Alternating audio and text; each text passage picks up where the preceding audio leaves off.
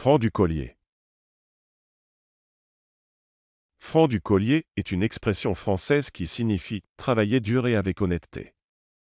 L'expression a des origines historiques, puisqu'elle remonte à l'époque où les chiens portaient un collier en cuir orné de plaques de métal. Les plaques étaient souvent gravées avec le nom ou les armoiries du propriétaire du chien, mais certaines étaient simplement marquées du mot franc, qui signifiait loyal ou honnête. Aujourd'hui, l'expression franc du collier est utilisée pour décrire une personne qui travaille dur et de manière honnête. Elle peut également s'appliquer à une entreprise ou à un projet. Voici quelques exemples d'utilisation de l'expression. Marc travaille franc du collier depuis qu'il a commencé à travailler dans cette entreprise. Il ne ménage pas ses efforts pour livrer ses projets à temps et avec la qualité requise. Cette entreprise est connue pour son travail franc du collier.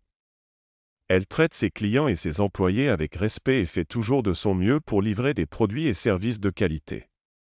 Les bénévoles ont travaillé franc du collier pendant des mois pour organiser cette foire aux livres. Grâce à leur dévouement et leur travail acharné, l'événement a été un grand succès.